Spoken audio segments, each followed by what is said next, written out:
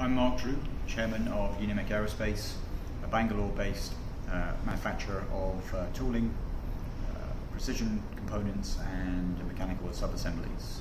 Um, we are a three-year-old company. Uh, we now export 100% of our product to uh, companies in the US, uh, France, Germany, UK. Um, and I'm here today at the 14th International Conference on Energizing Indian Aerospace Industry Flight Plan, plan for the Future.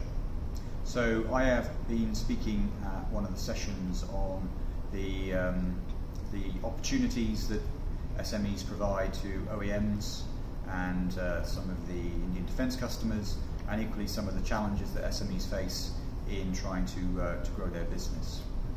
Now we are fortunate that we've started out as um, securing uh, customers on an export basis, mostly in the civil aerospace industry, uh, and that's given us a great market to tap into. Um, and we're now looking to leverage our capabilities into the Indian defence market, which is partly why I'm here today. Um, but a few observations on some of the challenges that Indian SMEs face uh, and equally some of the advantages that they provide. So, um, observations on uh, SME advantages. Uh, one, they are uh, very flexible, very agile, uh, very lean management structures, so they can react very quickly.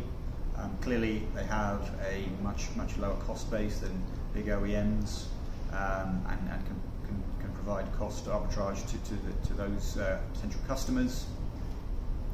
Um, India definitely got a great culture of entrepreneurship, innovation, um, and can also do that really, really quickly, react quickly to solving problems. Um, so those are some of the really sort of key things that uh, Indian SMEs can offer to the global marketplace. Um, I think in terms of some of the challenges that they face, then um, top of the list I think would be market access.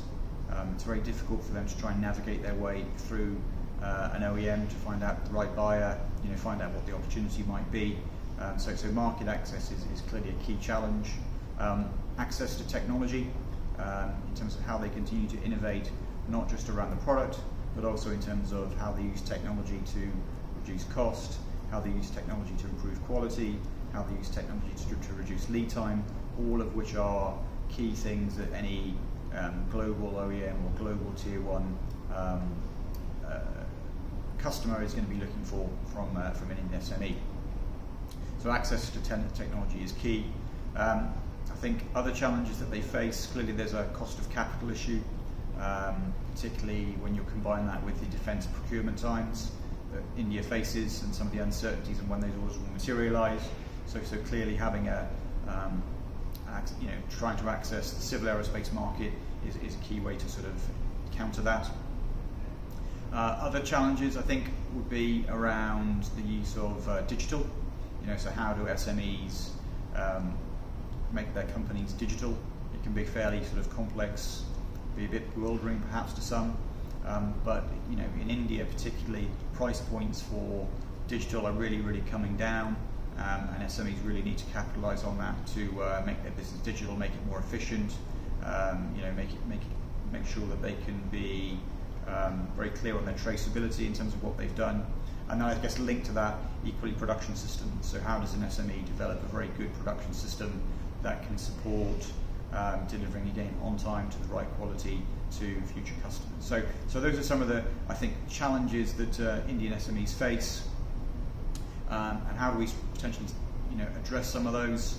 Um, clearly, around market access, um, we need to make sure that SMEs use some of the uh, industry bodies such as SIDM, who offer some really good services in terms of um, you know, sending delegations to things like the Paris Air Show that can really help um, get access to, uh, to some of those bigger, bigger potential customers. From a technology point of view, you know, there are some institutions that are in India that are now starting to try and engage with SMEs, um, such as CSIR and now, um, and we really need, again, would encourage SMEs to make more and more use of that particular uh, capability. Um, I think in terms of other uh, ways that we can help solve the problem for, for SMEs, um, the OEMs um, quite a few have actually come to India this year that I'm aware of and had, had supplier conferences where they've invited in their existing supplier base, they've invited in new suppliers, you know, so they can share with them what they're looking to try and do in India, um, and obviously then potential um, new suppliers can, can really understand and, and, have an opportunity to engage with their purchasing teams to, to try and create a new customer. Uh, and equally, I think the OEM should encourage their own tier one suppliers to do um, to do the same. So those are some of the things that I've talked about uh, this morning the session.